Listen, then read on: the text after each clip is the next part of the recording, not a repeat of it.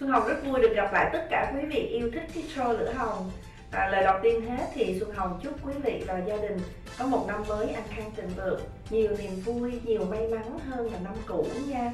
Và tất nhiên rồi Tết mà Thì trong những cái show vừa rồi quý vị xem show Lửa Hồng thì rất nhiều show à, mà Xuân Hồng làm những món ăn ngày Tết đậm đà hương vị quê hương và đặc trưng cho cái ngày Tết cổ truyền của người Việt Nam mình. Thì hôm nay một lần nữa Xuân Hồng mời quý vị vào bếp làm một món mứt. Ừ, nghe mứt tự nhiên thèm quá à. Xuân Hồng thích mứt ngọt lắm quý vị. À, ăn một miếng mứt rồi uống một ly trà nóng. Và ở Việt Nam đó là cái phong tục tập quán là Tết là bà con họ hàng hàng xóm đi đến nhà của nhau và thăm chúc Tết đúng không? Thì bao giờ hết chủ nhà phải dọn ra một dĩa mứt và một ấm trà nóng. Thì hôm nay Xuân Hồng sẽ cùng với quý vị làm một món mứt Tết ngon để đãi người thân thương của mình. Đó là mứt gừng xin ngày Tết phố xá đông vui người đi thăm đi viếng đi chơi. Người lo đi mua sắm Tết người dân hương đi lễ chùa. Thưa quý vị để làm món mứt gừng ừ, biết quý vị có thích mứt gừng chứ Xuân Học thích mứt gừng lắm. Tại vì mứt gừng đó mình làm ở nhà đó quý vị. Nó vẫn còn cái vị cay nó vẫn còn cái vị thơm của gừng còn mứt gừng mà quý vị mua người ta làm để lâu quá rồi đó, thì cái gừng làm như là giống như là nó nó hết cay rồi, tẩy nhiều quá, nó không còn cay nữa, rồi không còn thơm mùi gừng nữa. Ăn giống như ăn miếng đường rồi đó, sợ lắm. Nhưng mà mứt gừng mà làm ở nhà rất ngon và dễ làm. Tất nhiên cũng phải chú ý một những cái chi tiết nho nhỏ để thành công cái món mứt gừng này. Tôi hồng với quý vị cùng nhau làm món mứt gừng nha. Thì đã làm mứt gừng tất nhiên chúng ta phải có gừng rồi. Thì những củ gừng non quý vị gọt vỏ sạch sẽ đi như thế nào là gừng non? Thì một nhánh gừng lớn như thế này thì những cái nhánh gừng mà phía trên, tức là những nhánh con đó, từ củ gừng già củ gừng mẹ nè, nó đẻ ra những cái gừng non xung quanh nè, thì những cái nhánh gừng đó là gừng non. Gừng non á thì mình làm mức ăn nó không có bị sơ là thứ nhất. Thứ hai, cái vị cay của nó không có bị đắng. Còn cái gừng già mình làm cũng được, nhưng mà nó bị sơ và nó hơi bị đắng nha. Quý vị lựa những củ gừng non, mua về, gọt vỏ sạch sẽ đi như thế này rồi bây giờ bước kế tiếp là chúng ta sẽ thái gừng ra từng lát. Và trước khi thái gừng ra chúng ta phải có một thau nước lạnh như thế này đây. À, xương Hồng cắt một miếng chanh. Tại sao xương Hồng phải cắt một miếng chanh cho vào cái thau nước lạnh mà để mình ngâm gừng? Là tại vì xương Hồng muốn cái mức gừng của mình làm xong nó có màu trắng không có màu đen đậm nha. Thì quý vị nhìn thấy nè những cái món mứt bất cứ mứt gì ngay cả vừa rồi Xuân Hồng là mứt sen hay là mứt gừng, mình làm tại nhà đều không dùng hóa chất tẩy rửa để cho nó trắng. Mà mình dùng những cái bí quyết nho nhỏ cho cái mứt mình nó trắng một cách tự nhiên. Thì những cái củ gừng mình thái lát ra mình phải ngâm vào trong cái thau nước có một miếng chanh vắt vào để gừng mình được trắng. Thì quý vị nhìn thấy nè, đây là dĩ mứt gừng của Xuân Hồng nè, mới làm xong sáng nay để làm xô trắng phau à tất nhiên không phải trắng nhất là do mình tẩy à, dùng chất khoa chất để tẩy mà trắng tinh ngon lắm. Kết hợp là à, lên phớt phớt ở trên mặt miếng gừng là những cái à, đường đường nó mình xem mức nó nóng này. Ừ, ngon lắm quý vị. Tuyệt vời. Vẫn còn cay cay đã là mứt gừng tôi không thích phải còn hơi cay cay chứ nếu không cay thế nào mới ăn mứt khác rồi ăn mứt gừng chi đúng không? Vẫn còn cay cay rất thơm ăn vào thơm ngào ngạt mùi gừng ăn vào thấy nó ấm lòng nè à, ấm trong bụng vậy đó. Ờ, uhm, gừng là có công dụng chạy giải cảm rồi nhiều lắm chữa nhiều bệnh lắm. Đặc biệt mứt gừng mình ăn cho không khí tết thì tuyệt vời. Ha thôi xuân hồng với quý vị để làm món mứt gừng đi. Năm nay coi sao nha. Nếu làm thành công thì cho xuân hồng biết xuân hồng vui. Nhưng mà không có khó làm đâu quý vị xuân hồng nhắc lại, một thau nước lạnh quý vị bắt một miếng chanh vào, cho vào cho xuân hồng khoảng một muỗng muối, một muỗng cà phê muối. Tại sao xuân hồng có muối ở trong này? Chanh thì làm cho gừng trắng muối thì làm cho gừng bớt cay đi. Nó tẩy bớt cái chất cay trong gừng, chất đắng trong gừng đi, nha. Rồi, bây giờ xuân hồng sẽ dùng những củ gừng mà đã gọt vỏ sạch sẽ rồi. Và nếu chịu khó thì những cái củ gừng mà có những nhánh nhỏ nhỏ đó quý vị nhớ giữ lại, mặc dù mình gọt vỏ thì nó hơi khó, nhưng mà mình giữ lại để khi mà mình thái lát miếng mứt gừng ra thì mình xê nó đẹp. Cái miếng mứt gừng nó có nhánh cái này nọ, nó đẹp hơn là xương ruột, đúng không? Bây giờ xuân hồng sẽ để gừng ra một bên xuân hồng sẽ thái cho quý vị xem. Thì đây là củ gừng nha. Có nhiều quý vị nói tại sao mình không bào cho nó nhanh? Bào cũng được quý vị, nhưng mà xuân hồng đã làm rồi, đã thất bại rồi. Là gừng á, mà mình bào ra đó, mình xên mứt á thì cái mức mình sau khi thành phẩm á, nó không còn nguyên nguyên vẹn một miếng mà thẳng thẳng như vậy đâu mà nó cong queo à. Nó cong cái tại nó mỏng quá, nó cong queo à. Ăn nó không còn ngon nữa, thôi quý vị, thái bằng tay nha. Rất là dễ thái mà, thái nhanh lắm. Quý vị thái như thế này, đừng có mỏng quá mà cũng đừng có dày quá nha, như thế này thôi. Tại vì quý vị sẽ trừ hao nữa, sau khi mình xên mất xong á, thì cái miếng gừng nó sẽ tóp lại nữa, nó quéo lại nữa, cho nên mình phải cắt, đừng có dày quá nhưng đừng có mỏng quá rồi cứ tiếp tục quý vị thái ha, thái gừng mà gừng chúng ta đó, quý vị, Xuân Hồng nhắc lại là phải dùng gừng non, chứ gừng già thì nó đắng và nó chơi nhiều lắm như thế này. Xuân Hồng nhắc lại một lần nữa là để làm món mứt gừng chúng ta cần có những củ gừng non. Liều lượng thì tùy theo quý vị muốn nhiều hay ít mà thôi, nhưng mà quý vị cứ làm đi là sau đó mình sơ chế xong, mình bắt đầu mình cân nha. Liều lượng như thế nào thì quý vị nhớ xem cái show lửa hồng ngày hôm nay. Chúng ta đang làm món mứt gừng thì những củ gừng quý vị gọt vỏ xanh sạch sẽ rồi. Bây giờ bên này là thau nước lạnh là có chút chanh và chút muối. Phương Hồng bắt đầu là thái những lát gừng ra như thế này. Quý vị thái đến đâu cho vào một cái thau ngâm nước đến đó nha. Và chở mặt bên kia quý vị thái. Và khi thái cũng cẩn thận cái chừng nước tay nha quý vị nha. Tại vì cái gừng mình có chút nước trong này nè, mình thái nó dễ trơn lắm. Thái cẩn thận từ từ. Rồi, sau khi quý vị thái hết tất cả rổ gừng cho vào thau nước lạnh rồi Thì quý vị ngâm qua đêm cho Xuân Hồng. Ngâm qua một đêm nha. Sau một đêm, quý vị mới rửa sạch sẽ và luộc sơ trong nước sôi. Và trong cái nồi nước sôi cũng vậy, cũng phải vắt một miếng chanh đúng ra là người ta làm mứt người ta cho chút xíu phèn chua. Nhưng mà xuân hồng lại không cho phèn chua mà cho chanh vào, tại vì đã làm mứt ở nhà mình muốn không có hóa chất gì cho độc hại rồi, ăn cho nó mặn miệng rồi, mà cho hẹp phèn chua và ăn bữa ngớn. Nên xuân hồng không dùng phèn chua mà bắt vào trong cái nồi nước đang sôi. Một miếng chanh thả tất cả những miếng gừng mà chúng ta đã ngâm nước lạnh cái chút chanh và muốn qua một đêm. Quý vị nhớ phải ngâm qua một đêm. Để gừng nó trắng và nó bớt cay đi. Rồi Xuân Hồng sẽ luộc trong cái nồi nước sôi cái chút chanh khoảng 15 phút đồng hồ sau 15 phút đồng hồ Xuân Hồng đổ ra cái sinh ra cái rổ và xả sạch bằng nước lạnh. Lúc đó mình mới cưng và đi ướp đường. Nếu quý vị nào muốn mứt gừng không có cay nhiều thì mình luộc tiếp lần thứ hai. Sau khi luộc lần đầu 15 phút xả sạch bằng nước lạnh đun một nồi nước khác. Luộc tiếp một lần nữa nha nếu mà quý vị muốn mứt gừng không cay nhiều. Còn Xuân Hồng thích cay nhiều thì Xuân Hồng chỉ luộc một lần mà thôi. Bây giờ Xuân Hồng à, sẽ cùng với quý vị là tiếp tục cắt cái miếng gừng những củ gừng này bằng lá ngâm qua đêm xả sạch và chúng ta đi luộc nha. Cảm ơn quý vị nhiều.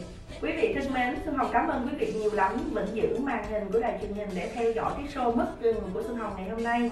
Thì để làm mất gừng xuân hồng đã nói với quý vị rồi chúng ta dùng những củ gừng non gọt vỏ à, thái thành những lát thái phải bào thái thành từng lát ngâm vào một thau nước lạnh có chanh và muối một muỗng cà phê muối và một miếng chanh vào vị ngâm qua một đêm, xả nước lạnh thực sạch, thể ráo, thì đây là rổ mứt gừng. À rổ mứt gừng nó chứ chưa mứt nha quý vị. Rổ gừng mà Thu Hồng đã ngâm qua một đêm, xả nước lạnh để ráo. Bây giờ bên kia là nồi nước đang sôi sùng sục. Xuân Hồng cắt vào một miếng chanh lại một miếng chanh nữa quý vị, tại vì mình không có dùng hóa chất, cho nên mình sẽ dùng chanh để làm cho mứt gừng trắng nha trắng nha. Xuân Hồng cho vào đây là một miếng chanh nè. Rồi, bây giờ Xuân Hồng cho tất cả gừng này vào luộc thì luộc quý vị luộc từ khi là gừng nó sôi lên nước cái, cái mức gừng trong này nó sôi lên quý vị để khoảng 15 phút sau. 15 phút sau chúng ta mới xả nước lọc nha.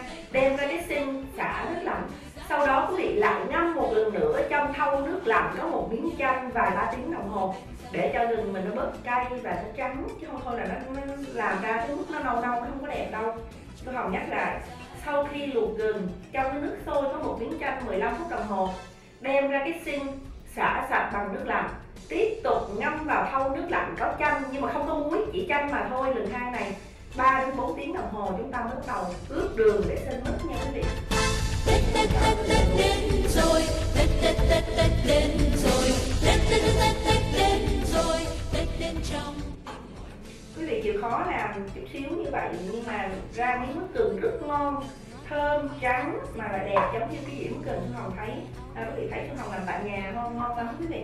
Mà nếu đường có quý vị làm nhiều nhiều cái mình cho vào những cái hộp nhỏ nhỏ hoặc là những gói ni lông mà đẹp đẹp đó mình cột nơ rồi mình đi biếu. Bạn bè người thân gia đình rất là ta cũng quý. Vui bên gia đình.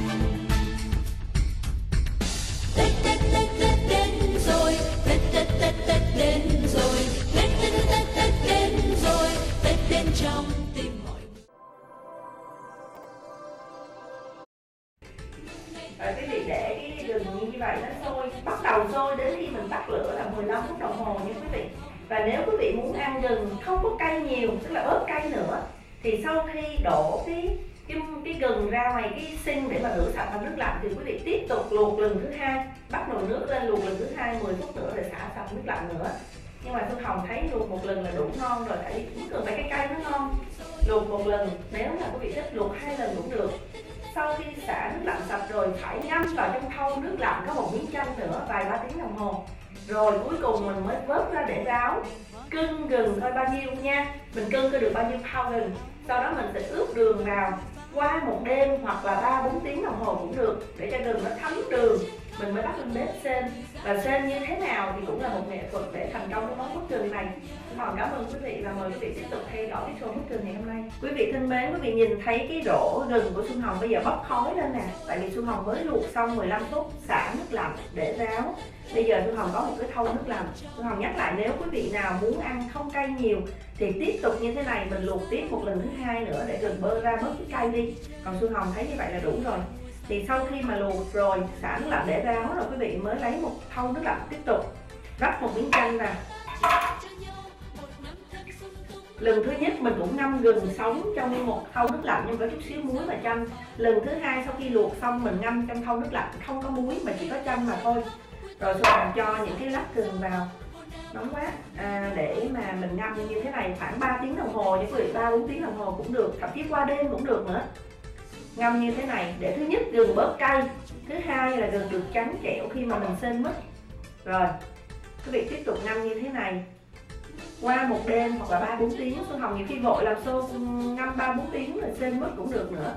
Sau khi ngâm ba bốn tiếng rồi, quý vị xả nước lạnh thực sạch, để ráo và chúng ta bắt đầu ướp đường. Và khi ướp đường, quý vị có thể ướp đường qua đêm hoặc là ba bốn tiếng nữa để mình làm mứt gừng nha nó qua nhiều công đoạn nhưng mà thì lại nói cái điều dài dòng, vậy chứ mà làm thì dễ lắm, quý vị thấy không? Đầu tiên gọt gừng ra, thái lá ngâm trong nước lạnh cái chanh với muối mấy tiếng đồng hồ, qua đêm cũng được nữa. Sau đó là xả sạch, luộc chín khoảng 15 phút. Xả sạch, ngâm trong nước lạnh với chút chanh vài ba tiếng đồng hồ, qua đêm. Sau đó xả sạch và bắt đầu ướp đường.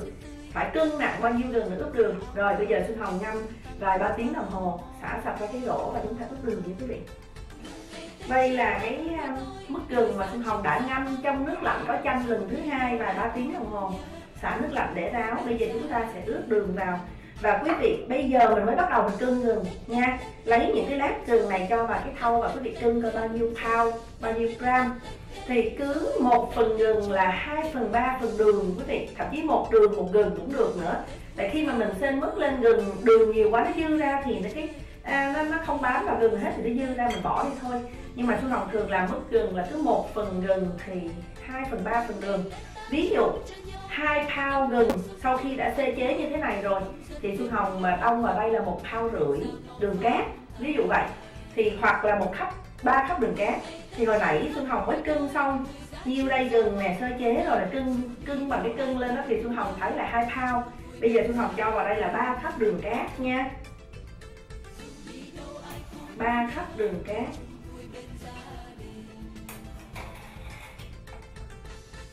Rồi, ba cốc đường cát thì sao? Quý vị sẽ trộn đều lên. Và ướp đường ướp đường với gừng như thế này 3 đến 4 tiếng đồng hồ hoặc là qua một đêm cũng được nữa. Thì hồi nữa quý vị sẽ thấy là gừng mình nó thấm đường và nó chảy nước ra. Nó chảy nước ra là là sau đó mình mới bắt đầu sên. Và khi sên mứt gừng thì cũng tương tự như là sên mứt sen. Quý vị không được thò đũa vào khuấy liên tục khuấy liên tục là hư liền. Mình chỉ lắc lắc cái chảo như thế này thôi và khi mà à, gừng nó sắp được thì mình cứ lâu lâu mình chở mặt gừng một lần để cho gừng nó, nó, nó, nó, nó cái đường nó cạn lại nó đóng cát thôi. Đó thì đây là cái thau mứt gừng là hai thau mứt gừng mà Xuân Hồng đã ướp đường qua một đêm. Thực ra cái này không phải qua đêm sáng đến giờ là mấy tiếng đồng hồ ta? Năm sáu tiếng đồng hồ thôi quý vị là nó như thế này đây. Đường tan ra với gừng và miếng gừng của mình bây giờ có cái màu trong trong và thấm đường rồi. Xuân Hồng sẽ cho tất cả gừng với nước đường này vào trong cái nồi và chúng ta đem sên mới đầu quý vị để lửa hơi lớn lớn một chút xíu cũng được medium khi nào mà nước đường trong nồi này nó sôi sùng sục lên, quý vị giảm lửa liền. Và cứ để riêu riêu như vậy. Lâu lâu lấy cái cái cái gỗ lâu lâu mà lấy cái muỗng gỗ mình chở mặt mức gừng giống như là mức sen vậy quý vị. Không có được đảo đảo đảo, đổ đảo liên tục là hư liền, nó lại đường liền lâu lâu với mình khoảng 5 10 phút mình mới trở mặt cái mức đường một lần. Và cứ tiếp tục xe lửa nhỏ như vậy đến khi nào mà nước đường rút xuống và xung quanh miếng gừng là có đóng những cát trắng như là cái miếng mứt gừng của hồng bên này là đã xong rồi. Tắt lửa để thiệt là nguội. Chú hồng thường để qua một đêm mình mới cho vào cái hũ và đậy chín lại. Thôi bây giờ chú hồng lấy cái chà rồi cho tất cả gừng với nước đường mà mình đã ướp thấm qua một đêm vào và Xuân Hồng nhắc lại một lần nữa là chúng ta trên mức gừng cũng giống như mức sen, không được quấy nhiều, mà chỉ lâu lâu mình đảo 5-10 phút mình chở mặt mà thôi. Thì như vậy mới thành công. Rồi, quý vị thấy mình dàn mỏng ra cho gừng, nó nằm thấm trong cái nước đường. Tí nữa nước đường sôi đó quý vị. Mình chỉ chở mặt gừng 5-10 phút một lần. Đến khi nào nước đường này nó cạn, nó rút xuống là những miếng gừng bám quanh cái cái đường cắt trắng là thành công rồi nha và rất ngon quý vị ơi. Rồi bây giờ quý vị phải cho Xuân Hồng chút xíu thời gian cho cái nước đường này nó sôi lên. Rồi Xuân Hồng chở mặt cái mức gừng cho quý vị xem, rồi sau đó là cho cái thành phẩm là cho quý vị xem cái thành phẩm mứt gừng của mình ngon như thế nào. Và Xuân Hồng lúc nào cũng vậy, mong muốn quý vị thật sự thành công với những món ăn trên sôi lửa hồng cảm ơn quý vị nhiều. Quý vị nhìn thấy cái chảo mức gừng của Xuân Hồng đang sôi sùng sục lên bếp này quý vị mới đầu mà để lửa lớn chút xíu cho cái cái cái lửa, cho cái đường mà nó hôn sôi, cái đường nó hôn sôi. Khi nó sôi rồi thì quý vị giảm lửa xuống và 5 đến 10 phút một lần, quý vị chỉ cái chở mặt, chở cái lần như thế này đây. Giống như mình đừng có khuấy mà đâu đâu mình chở mặt đảo đều chút xíu thôi. Rồi, xong xuôi quý vị lại để tiếp tục như vậy. Năm, mười phút sau quý vị làm một lần nữa. Là lâu lâu đó mà, cái mình chở mặt ngừng chở như thế này đảo đảo đều chút xíu nhưng mà không khuấy, đều, khuấy liên tay như vậy. Rồi, để yên đó quý vị hạ lửa thật là nhỏ tại vì xên mức mức mà mình để lửa lớn đó, thì mức sẽ bị khét và đường nó bị khét. Mức nó không có trắng nó không? Có ngon nên cứ như vậy quý vị làm đến khi đường nó rút lại và những cái miếng mứt đường bám một lớp đường cát mềm màu trắng mà chúng ta tắt lửa để thịt nguội nó cho vào hũ và giống như cái thành phẩm tôi hồng cho quý vị xem thì đây là cái món mứt đường rất là dễ làm và cũng khách tham lâu lắm thì cái màu đường này nó mới cạn phải à, một đến hai tiếng đồng hồ. Thì cho hồng nghĩ là tiếng rưỡi đến hai tiếng đồng hồ thì mới cạn cái nước xuống và nhưng mà mình không có cực công nhiều là tại lâu lâu mình mới mới chở mặt một lần lấy mấy miếng bức gừng thôi chứ không phải là mình đứng liên tục ở đây mấy tiếng đồng hồ. Lâu lâu mình đi làm công chuyện mình chở lại mình chở mặt nhưng mà để lửa thật nhỏ nha. Cứ như vậy các vị để um, đảo đều đến khi nào mà gừng mình sẽ cạn nước thì cái thành phẩm của chúng ta là dĩa mứt gừng ngon như thế này đây quý vị. Cảm ơn quý vị nhiều đã theo dõi cái mứt gừng ngày hôm nay tất nhiên rồi, xuân không phải làm thẳng mứt gừng để cho quý vị xem chứ làm sao mà có thời gian đâu mà mấy tiếng đồng hồ mới xong một cái xôi mứt gừng đúng không? Và ờ, lúc nào cũng vậy hết trơn á, khi xuân hồng làm những cái món ăn mà trên show lửa hồng, xuân hồng cũng rất là mong quý vị nó thành công. Cho nên là xuân hồng mới hướng dẫn kỹ lưỡng, từng ly, từng tí, một nhắc đi nhắc lại như vậy. Thì hy vọng là giống như những món ăn khác, món mứt gừng quý vị cũng thành công trong cái năm nay, trong cái tết năm nay để cho gia đình mình thưởng thức nha. Xuân hồng ăn thử miếng mứt gừng rồi, chào tạm biệt tất cả quý vị mứt gừng là phải có trà nóng. Không quý vị ha ăn mứt hay là bánh ngọt, phải có một ly trà nóng để mà nó đầm cái vị ngọt xuống. Nó làm cho cái cơ thể mình nó ấm lắm nếu mà ăn mứt gừng rồi lấy một miếng mứt gừng cắn một miếng. Uhm. ngon lắm quý vị. Tuyệt vời. Thơm thì là thơm mùi gừng vẫn còn vị cay rất là dịu dàng. Ngọt, miếng mứt gừng giòn. Rất ngon hồng hậu miếng nước nha. Xuân Hồng cảm ơn quý vị nhiều. Và cảm ơn quý vị nhiều lắm đã ủng hộ xô làm đẹp của Xuân Hồng nữa. Ủng hộ xô lửa hồng, ủng hộ xô làm đẹp Sanadol với một bộ kem dưỡng da rất tốt.